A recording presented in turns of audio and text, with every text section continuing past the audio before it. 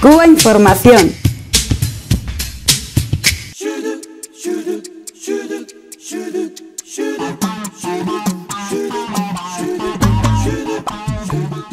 Bueno, vamos a seguir adelante con el programa. Hemos estado escuchando a Manny García con uno de sus reggaetones tan famosos.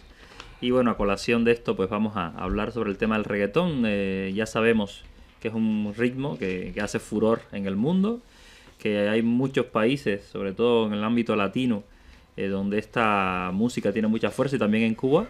Pero en el caso cubano en concreto, pues los medios pues, han lanzado a decir que, que, que en Cuba se va a prohibir el reggaetón. Y bueno, han salido muchísimas voces airadas en contra de, de esta falta de libertad, ¿no? Y entonces, bueno, pues vamos a tener que hablar un poquito de este tema. Sí, sobre todo pues para poner las cosas en su sitio y para desmentir esta matriz de opinión, ¿no? Porque realmente no es verdad. Eh, el, libertad digital. La dictadura castrista prohíbe el reggaetón en Cuba, así titulaba este medio de la ultraderecha española, ¿no? Y todo eso venía, bueno, este medio y muchos otros, incluso, incluso en televisiones, la, propia, la cadena La Sexta, supuestamente progresista, hacía una tertulia con este asunto. Y entonces los tertulianos automáticamente ya lo daban por cierto, y había uno que decía que no, que Fidel Castro que anda, Fidel Castro, fíjate, ¿no? que está tranquilamente ya en otros asuntos. Bueno, pues, eh, ¿qué, ¿qué, hace Fidel Castro metiéndose en los asuntos de la música que quiere escuchar la juventud? O sea, ya, ya era el, el despelote, ¿no? Y la cosa es que hay un debate muy fuerte desde hace años entre intelectuales, músicos de Cuba, sobre el mal gusto y el sexismo, el machismo absoluto de algunas o muchas de las letras de, de canciones de, reggaetón y de otros estilos. Y, eh, y, entonces hace poco publicaba Granma, el diario cubano, una entrevista con el presidente del Instituto Cubano de la Música, en el que él daba la opinión, una opinión parecida, es decir, eh, que determinadas canciones de reggaetón pues eran intolerables desde el punto de vista de la de, del mensaje absolutamente retrógrado que transmitían y que incluso se preparaba un, una, una ley para que, eh, digamos, estos mensajes, tanto de, de, sexismo como de homofobia, como de xenofobia y de otros, pues de alguna manera no tuvieran cabida en los medios públicos, de, o sea, en los medios de la isla. Pero esto no quiere decir que el reggaetón se vaya a prohibir, ni que no se ponga, que, o que no se ponga el reggaetón en la televisión cubana, en absoluto. Sencillamente aquellos exponentes absolutamente zafios, pues no se van a poner. Ese es un poco el mensaje, que todavía ni siquiera la ley está aprobada. Bueno, pues esto automáticamente era prohibido, prohibir el reggaetón en Cuba, ¿no? Para los medios. Y tú hablabas de Osmari García, que es un reggaetonero muy famoso en Cuba. Yo me acuerdo, en noviembre del año del 2011, tenía un incidente, pues, pues que tuvo un, pues, pues eh, pues mucho bombo en Cuba y en otros países, ¿no?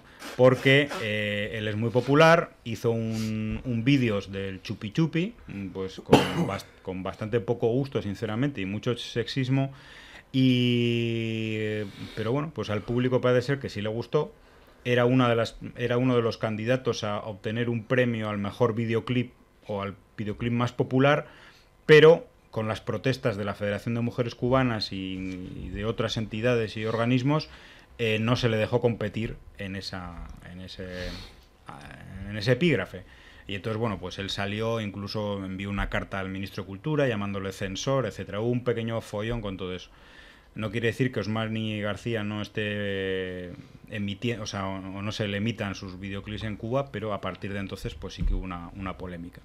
Y bueno, pues esto es un asunto interesante, ¿no? Interesante porque estamos hablando de, yo, yo diría que de ideas, de lucha de ideas, ¿no? En, en, sí. en una Cuba que lleva muchos años tratando de construir otras ideas diferentes a estas. ¿no? Bueno, eh, voy a, apunt a, a, sí. a, apuntar brevemente y a leer textualmente algo.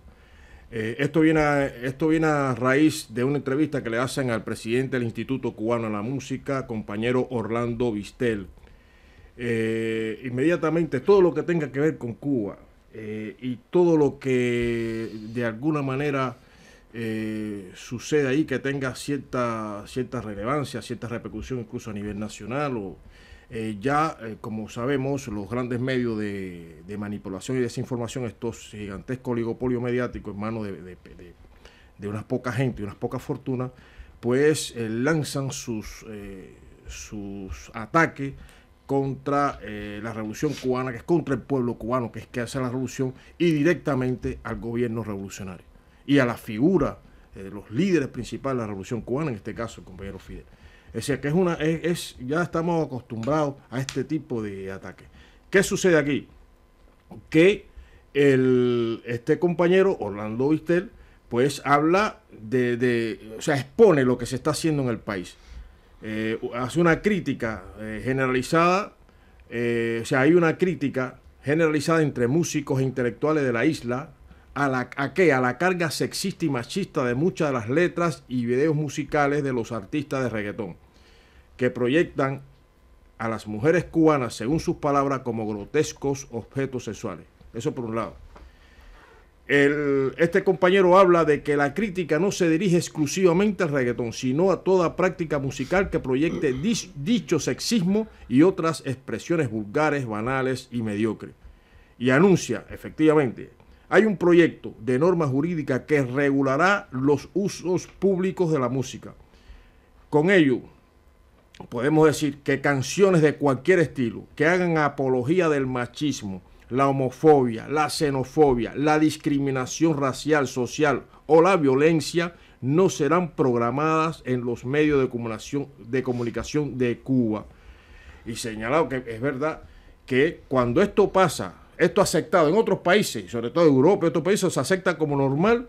En el, bueno, es parte de la libertad de expresión, el mundo civilizado y todo esto, pero cuando eh, ocurre, por ejemplo, que es post publicitario, videos musicales, son retirados, y, con bastante frecuencia sucede, tras denuncia de determinados colectivos o instituciones, pues se retiran y sin embargo estos mismos medios nunca, nunca mencionan al gobierno de esos países, ni se dirigen, dirigen sus ataques o sus críticas de, censura al presidente o, incluso ni al, ni al, sistema. No, no, no, se retiran. Hay colectivos que denuncian de, colectivos feministas, de, del que sea, denuncian una, situación con un, y, retiran. Y ya está.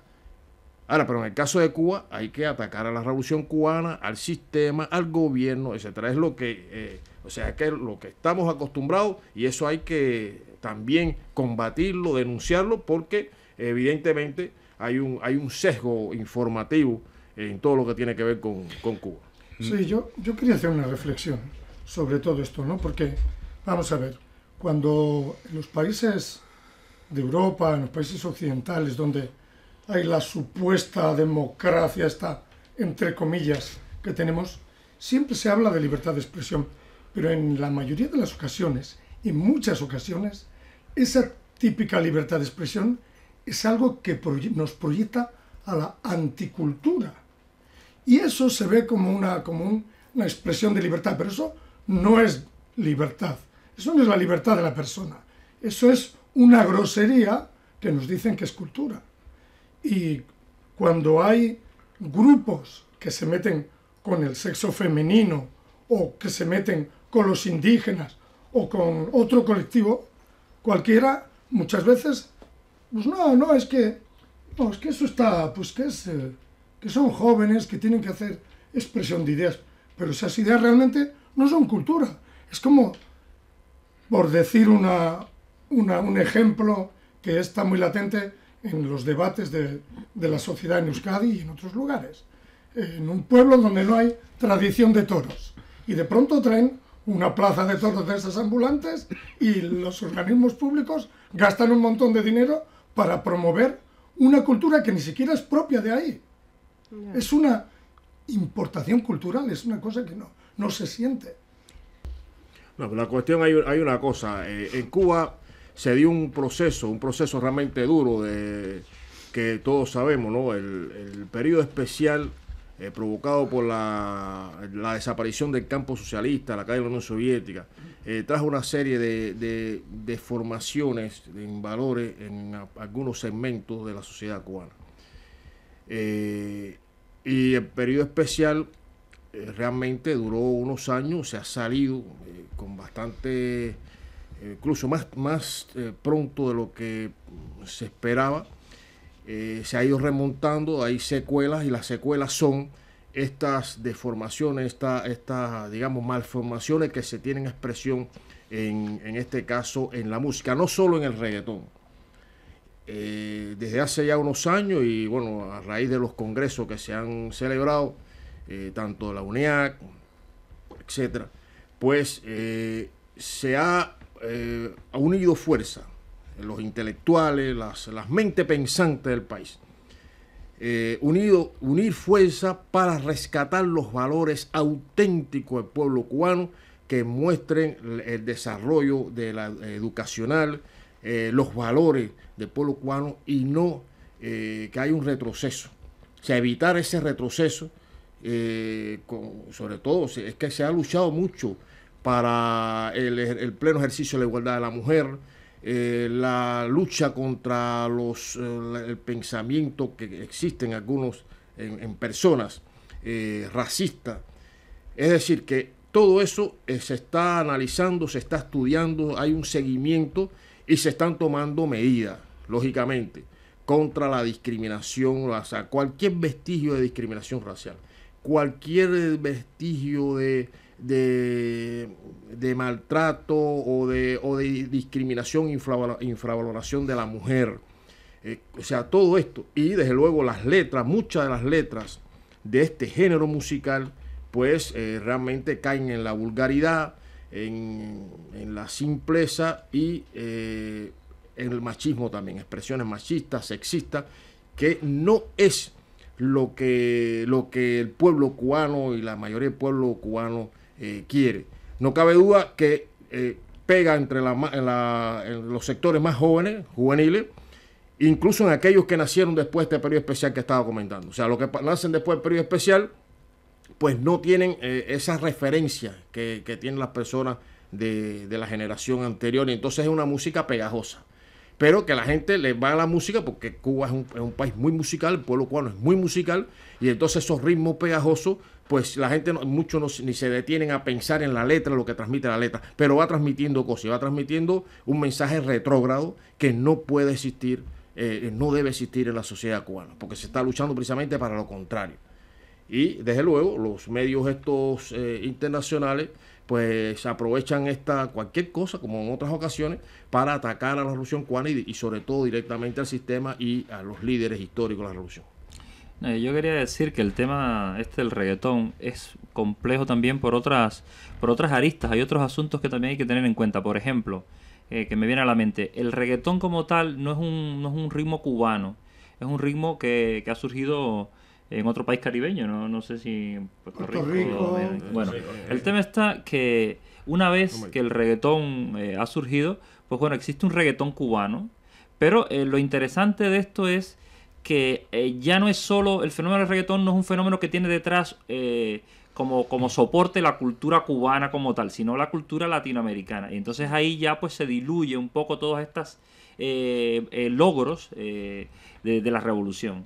Hay, detrás de todo esto, pues, una masa eh, consumidora de este tipo de música que no es solo el pueblo cubano, sino que es también el pueblo este latinoamericano, que ya cuando lo vemos así en global, pues desde luego, pues ya el nivel cultural pues desciende mucho. Hay otra cosa, hay otro factor y es que eh, sean de donde sean los, los, los músicos, los reggaetoneros, existe toda una maquinaria que los vende en el mundo. Y esa maquinaria no es cubana, esa maquinaria muchas veces es norteamericana o es de otros países. Entonces muchas veces hay una serie de compromisos. Hay una serie de compromisos eh, o sea que hay una, serie de hilos también moviendo todo esto. Comerciales. Eh, comerciales. A veces hay una canción de un cantante cubano, por ejemplo, pero el videoclip de esa, de esa canción no está hecho en Cuba, está hecho en Miami. Entonces muchas veces la imagen que se vende es mucho más sexista, no tanto ya por la letra en sí misma, sino incluso por el vídeo que lo soporta. O sea, hay una serie de... Y, a veces un músico cubano se presenta con 20, con 20 textos o 20 eh, títulos para hacer un disco y ellos son quienes escogen cuáles son los que, los que se van a escoger, porque no son discos hechos para vender en Cuba, son discos hechos para vender en el mundo. Y también hay otro fenómeno, y es que eh, hoy, hoy por hoy los músicos, la gente que hace reggaetón, no son personas que salen de escuelas de música, son personas que usando los mecanismos informáticos que tenemos hoy, pues roban, piratean la música de aquí y de allá. Entonces al final escriben una letra que tiene un soporte musical que no es el resultado de, sus, de su virtuosismo como músico. Cuando hay una persona que ha sido un virtuoso de la música, que ha estudiado música, pues le gusta que en su trabajo musical aparezca sus estudios y su virtuosismo. su personalidad. Pero si al final tú no has estudiado música y lo que el background que pones detrás es algo que te robaste, pues evidentemente no tienes esa, ese interés o, no tienes esa preocupación porque se demuestre tus estudios como músico. Y desgraciadamente Cuba es un país que se, se caracteriza precisamente por la calidad de los músicos cubanos. O sea, el músico cubano, para, para, para el músico cubano es casi una ofensa que, que hayan otras personas compitiendo con ellos con músicas de estas que, con personas que prácticamente no saben ni tocar un instrumento. Entonces, desde luego, esto también es una cosa que hay que tener en cuenta.